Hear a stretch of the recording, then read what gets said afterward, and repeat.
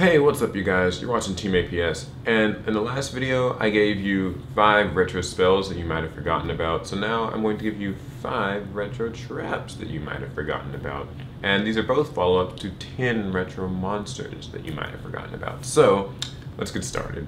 The first card is Dark Bribe. So, um, for those who don't know, Dark Bribe can negate any spell or trap that your opponent activates, and then they draw a card.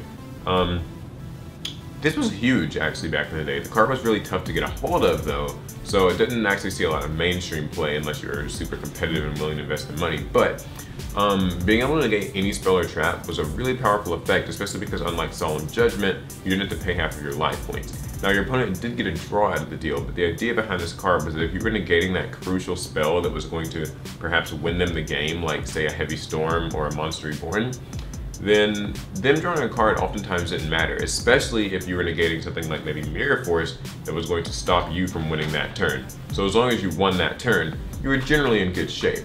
Um, I would say though that it these days has just kind of been outclassed. There are things like, you know, everything really, wiretap, um, a lot of monsters negate spells and traps, um, it just really these days it's pretty much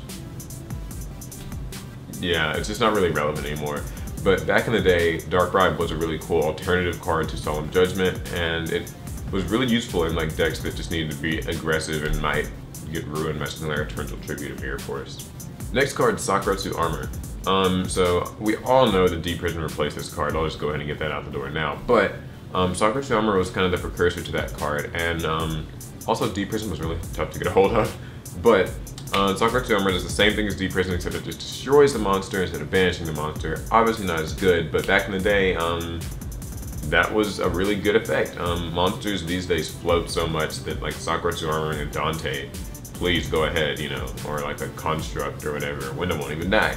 But um,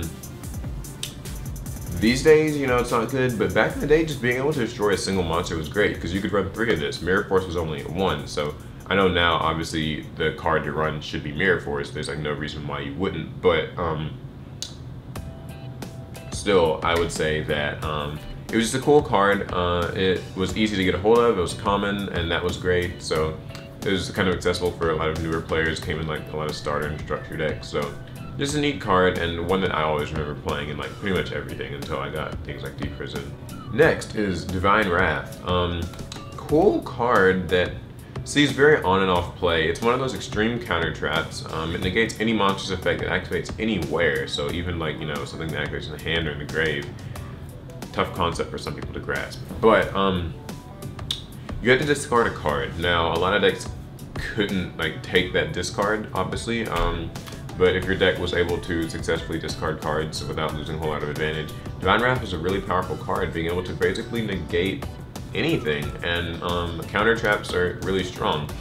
It wasn't, it kind of like covered that one base that Solemn Judgment couldn't actually like cover, so that was nice. Um, but it, I think that of you know the traps in this list, it probably saw the least play overall, but it was a really popular card, especially in side decks when you're facing decks that had monster effects that activated in kind of weird places. It was really strong, so that's one of my cards. Next card is Dust Tornado. Uh, so there was a time when MST was at one, I know, believe it or not. And so when MST was at one, Heavy was also at one, but we're gonna ignore that for a while. Um, Dust Tornado was a really popular card to use. You could use it in the main deck or you could use it in the side deck. It was just extra spell and trap removal, which, you know, is actually really, really useful. Um, if your opponent ran a deck with a lot of back row or ran lots of continuous spells and traps, it was good. And Dust Tornado also let you set your spell and trap after spell and trap, spell or trap after you activated it. So kind of a cool um, idea behind this card was because Heavy Storm was around, you didn't really want to be setting more than like one card at a time if you could help it. You could actually set Dust Tornado and say you had like a Dust Tornado and like um, a Sakuretsu Armor or something in your hand. You could set Dust Tornado and then use it to destroy an opponent's spell or trap, then set your Sakuretsu Armor, or, you know, some other trap during your opponent's turn, but still keep the amount of cards set that you have at one, so you wouldn't be at risk of losing the Heavy Storm. So, um, yeah, that always made uh, Dust Tornado really cool, and it was just popular side, popular main deck card for, like, aggressive decks. Um, Shame it's not run now because now we have freaking Galaxy Cyclone, Night Beam, and like everything else under the roof. So, uh, not really seeing anymore. And Twister, don't never forget that. And MST's at three, so no point. But yeah, Dust Tornado was cool and one of the ones I remember. And the last card for me is Trap Hole. Uh, Trap Hole, just when your opponent normal summoned a monster with a thousand more attack, you flipped it and the monster got destroyed. Boom. So, um, this card, useful obviously in the early days of Yu-Gi-Oh! I mean, it came in like the starter decks, but my most important use of it that I remember was actually using it against Blackwings because whenever they would use it with, whenever they would have like Black Whirlwind, you could trap hole the monster they summon and wouldn't be able to search, and that was always really important to me, so I like to use trap hole against it. And in the slow days of Yu-Gi-Oh! Trap Hole itself was actually just really useful. Most monsters, or most decks, couldn't summon more than like, you know, one monster a turn, unlike today where, you know, it's just like, uh, let me just summon everything. Well, um, in those days, you couldn't necessarily do that, so one trap hole could just end a turn, and that was really valuable. Uh, I would say though that these days trap hole just, just kind of doesn't cut it. Uh, you'd obviously rather have bottomless, even if it's at one, and like, you know, Trap Hole Nightmare and all that stuff. You'd rather have those. But still, um, there will always kind of be a place in my heart for Trap Hole. It was a cool card, it was a good trap, it was a safe card, and I liked it.